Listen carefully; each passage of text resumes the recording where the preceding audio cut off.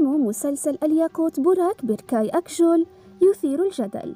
بمحاولته إزاحة البطل الرئيسي لمسلسل الياقوت عن دور البطولة وفي التفاصيل. تمكن المسلسل التركي الياقوت من جذب شريحة واسعة من الجمهور منذ الحلقة الأولى فقد تصدر أبطاله محركات البحث وكثر الحديث عن أبطاله عبر وسائل التواصل الاجتماعي.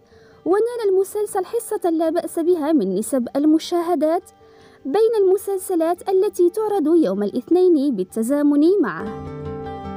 وبعد ظهور إلهان شين بدور أتيش كطرف ثالث في علاقة يامان وفرايا انقسم الجمهور حول العلاقتين. فمنهم من يرى أن علاقة يامان وفرايا يجب أن تستمر متمنين من كتيبة المسلسل ألا تقوم بتحويل شخصية يامان للشريرة. فيما رأى الآخرون أن علاقة أتيش وفرايا هي التي يجب أن تستمر خاصة أن أتيش في كل مرة يظهر رجولته وشهامته. وأثار نجم مسلسل الياقوت بوراك بيركاي أكجول الجدل عبر مواقع التواصل الاجتماعي بعد انضمامه لبث على منصة تويتر. فتحه رابطة المعجبين بدور يمان وخلال البث قام المعجبين بإهانة الممثل إلهان شين بسبه وشتمه والممثل بوراك بيركاي أكجول لم يدافع عن زميله في المسلسل بل استمر في الاستماع إلى المعجبين وهم يقومون بإهانة إلهان شين. كما قامت فئة منهم بمراسلة إلهان شين على حسابه الشخصي على منصة الإنستغرام وقاموا بشتمه. ووضع بوراك بيركاي أكجول في وسط موجة من الانتقادات بعد انضمامه للبث ومشاركته في إهانة زميله إلهان شين.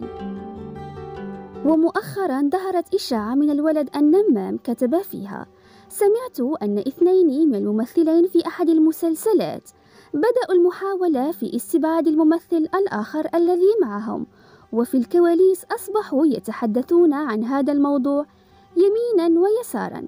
أعتقد أن الأمور سوف تتعقد. ويبدو أن الممثل بوراك بيركاي أكجول يحاول الترويج لنفسه وللمسلسل بطرق رخيصة.